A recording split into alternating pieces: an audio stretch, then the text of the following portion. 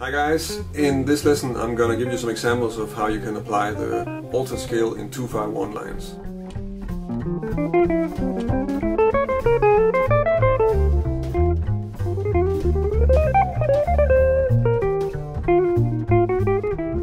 In my previous lesson series I was talking about the melodic minor scale and I gave you some examples of the kind of lines you can make with a melodic minor scale on a tonic uh, minor chord.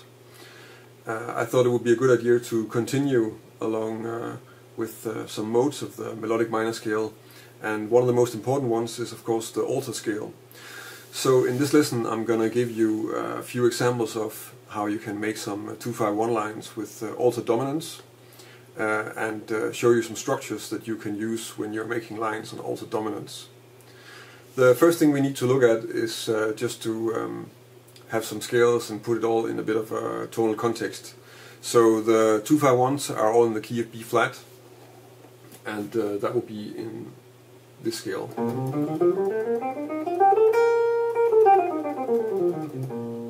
And uh, we're going to stay pretty much in this area, we're going to move a bit around. Um, but around this area of the neck and the alter scale will be this.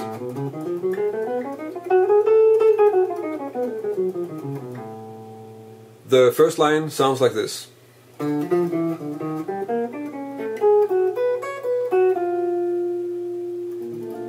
So the 251 is of course C minor 7, F7 altered, B flat major 7. And on the C minor I'm playing uh, this uh, chromatic encirclement of the third. So these four notes leading up to the E flat. Uh, from the E flat I'm playing the diatonic arpeggio, so that's just an E flat major 7. And uh, the line on the F7 altered uh, consists of um, an uh, A major shell voicing and an F sharp sus uh, triad.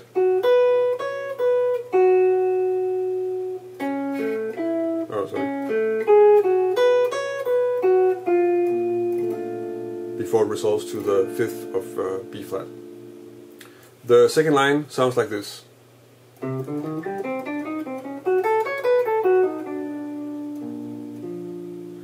Uh, so on the C minor I'm playing this sort of uh, C minor add 9 or add 2 or kind of arpeggio which is sort of nicely symmetrical across the fretboard because you can move it up like so I play a bit of that then on the F7 altered I'm first playing an F sharp minor arpeggio. Triad arpeggio. And then I'm um, running down a B7 arpeggio, which is the tritone, of course, of, uh, of F7, and also diatonic arpeggio in F sharp uh, minor melodic, and then resolving that to the third of uh, B flat major 7. The third example sounds like this.